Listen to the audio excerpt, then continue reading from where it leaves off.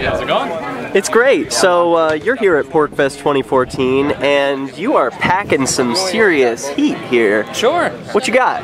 That's a, uh Beretta PX4 Storm 9mm. I was actually just reflecting today that I've worn about five different pieces over the course of my PorcFest, and um, I, I pined for the one that was the most fashionable of, of them all. Now, one of the most popular PorcFest videos is one of you open carrying a few years ago.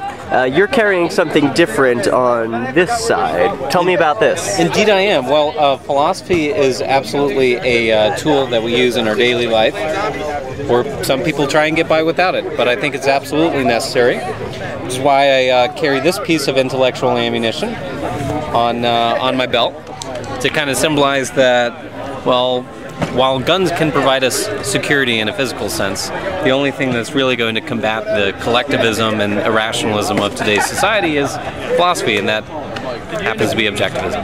And you do a podcast, don't you, Neil? I do. Uh, Flaming Freedom, LGBT Radio. Um, and in fact, we're going to be having it uh, tomorrow uh, at 11 a.m.